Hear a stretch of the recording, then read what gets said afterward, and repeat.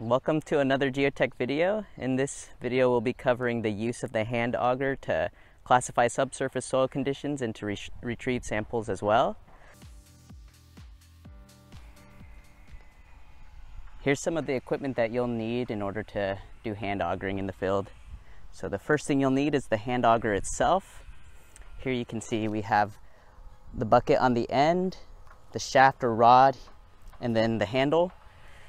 And all of the offices will be receiving two types of buckets. The one that you see here is a clay bucket, and the clay buckets are a little bit wider, meaning the clay particles and the clay samples can enter freely.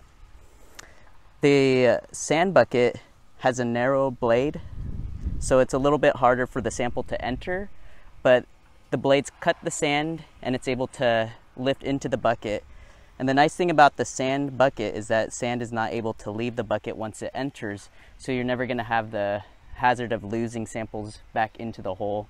So it's important to know what type of soil you're sampling in order to, to select the bucket that's appropriate for the application.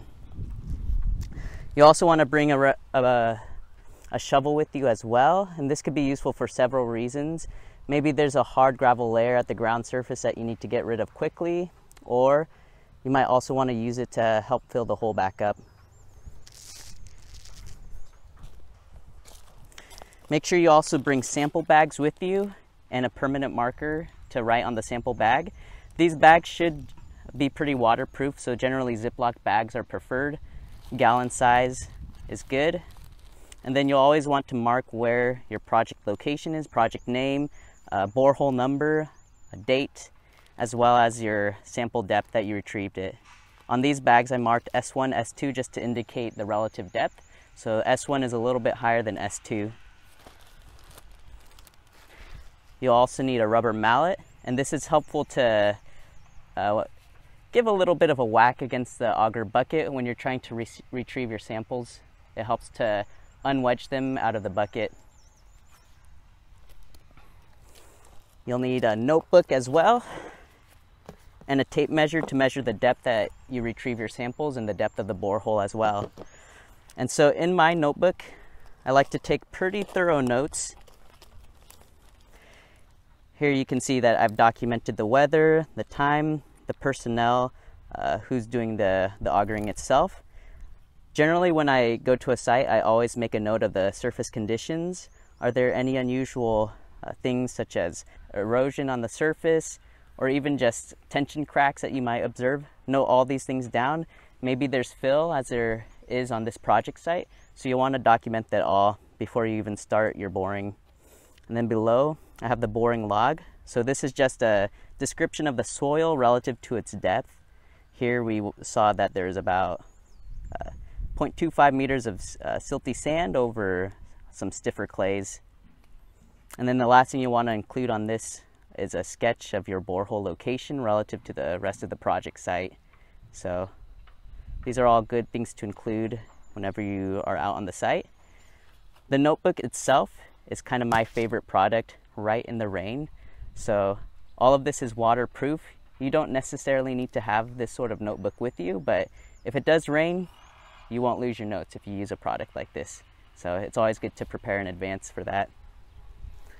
The last thing you'll need is a water bucket and you'll use this to clean your auger, your, your auger bucket and your rods when you're finished.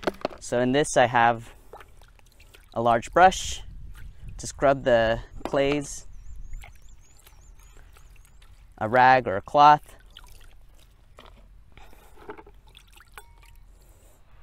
and then a spatula as well. So I use the spatula to scrape it off if it's extra tough.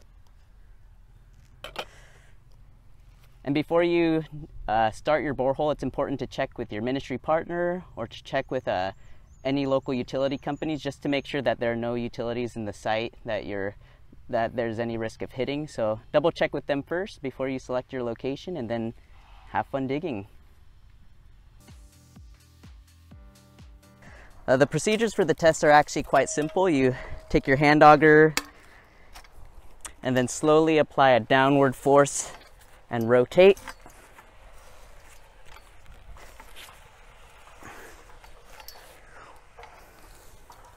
Once the bucket is about uh, 15 to, to 20 centimeters full, you want to empty the bucket out. Preferably not too close to the hole as it might enter into the hole and then you'll just have to dig it up again. So to get the sample out, I usually pitch the, the auger bucket at about a 45 degree angle and lightly tap it with the hammer.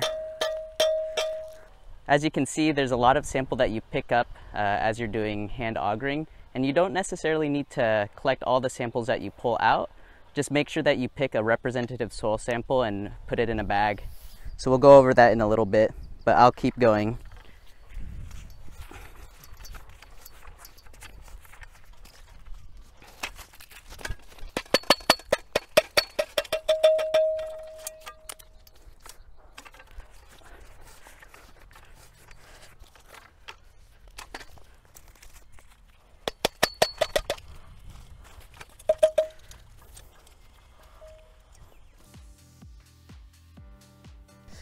So right here, I've noticed a bit of a change in the subsurface soil conditions. So when you see that, it's a good time to make note in your notebook the types of soils that you've observed and about what depth you notice the change. So I'm gonna grab my notebook. The first soil that I observed, it looks to be brown, silty, maybe a silty sand. So I could put that in my log as a brown silty sand, maybe moist. And we can include that in our log. Then we'll also want to grab a bagged sample of that.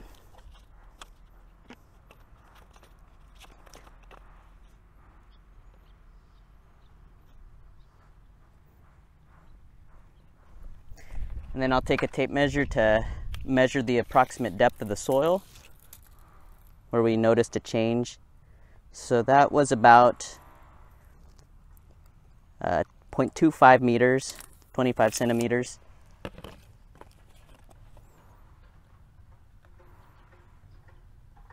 Then I'll also note the second layer type. So this one looks more like a sandy clay, maybe light brown or gray sandy clay.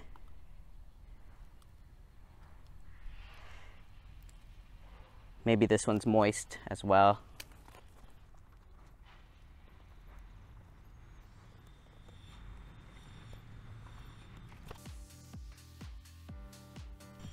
All right, and then we also need to prepare our sample bag as well. So on your sample bag, it's important to note your project, the boring number, uh, your date as well, and then the depth that you retrieve the sample. And sometimes it's helpful to include a sample number just so that you can quickly sort uh, which depth you grabbed your samples at. So here I'll call this S1 and the sample is about 0.15 meters.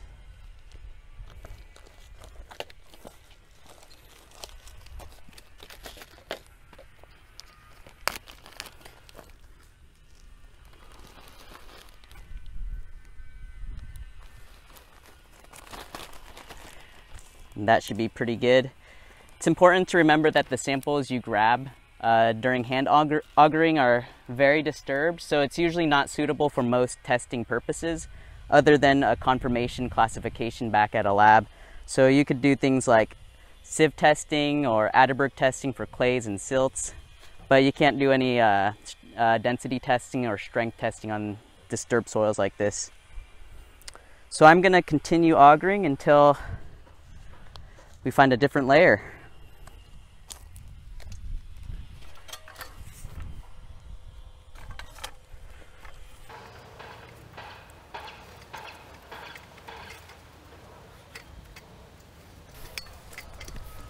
We're about 1.1 meters down in the ground and the soil is starting to get a little bit stiffer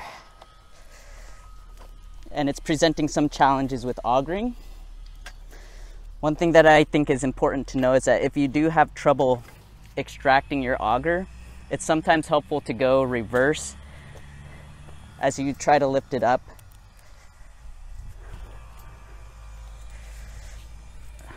So go counterclockwise as you pull up.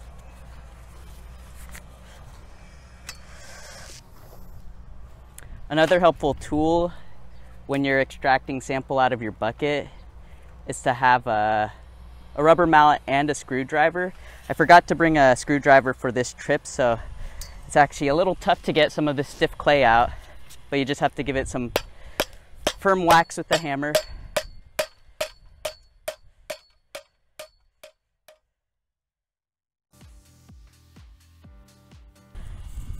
Backfilling the the auger hole is pretty simple. You do need to check with local uh, regulations. Some some uh, jurisdictions require that you backfill with bentonite or with some co uh, concrete slurry. So be sure to check out your local regulations before you even attempt to do a borehole. But we're just going to backfill this hole with some of our cuttings and then call it a day.